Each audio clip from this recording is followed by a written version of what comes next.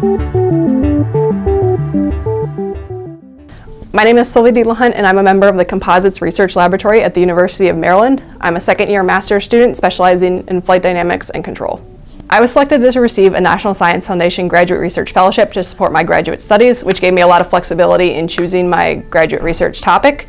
Um, for my research, I've been looking at the application of a variable recruitment control strategy to bundles of miniature pneumatic artificial muscles as an attempt to mimic the selective recruitment of motor units in human muscles.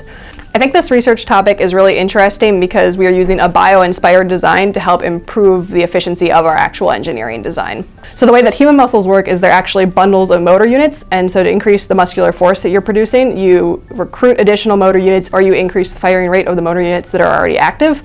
Uh, pneumatic artificial muscles, also called PAMs, work like human muscles in that when they're pressurized through one of their two end fittings, they expand radially, contract axially, and produce an axial force. Benefits of PAMs include their simple structure, their high force to weight ratios, and that they can be fabricated in a range of sizes as long as you can find appropriate commercially available materials.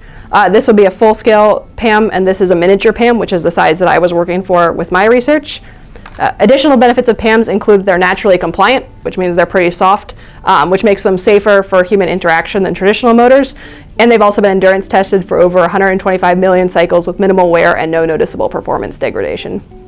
One of the problems with using PAMs and robotic manipulators is that they have really poor efficiency at low operating pressures. This means if you have a manipulator designed to lift a 95th percentile male and you're instead lifting a 5th percentile female, you're going to be operating at really low efficiencies.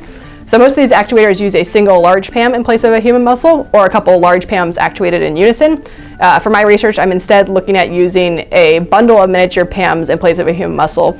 In this case, a bundle of miniature PAMs would represent a bundle of motor units as is found in a regular human muscle.